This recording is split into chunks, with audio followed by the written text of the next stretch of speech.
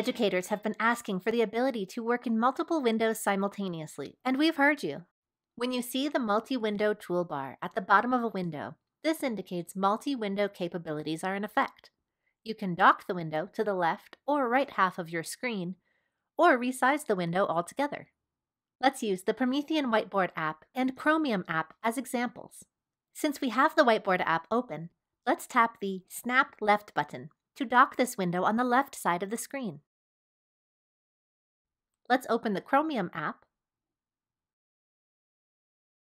and tap the Snap Right button to dock this window on the right side of the screen. You're probably already thinking of ways to use multi-window functionality with your students. In addition to snapping a window to either side of your screen, you can also resize the window as you wish.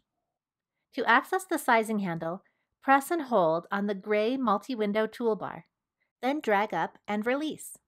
You can do this from either full screen or half screen mode. Use the sizing handle on the bottom right corner to resize the window to best meet your needs. Press the toolbar and drag to move the window anywhere on your screen.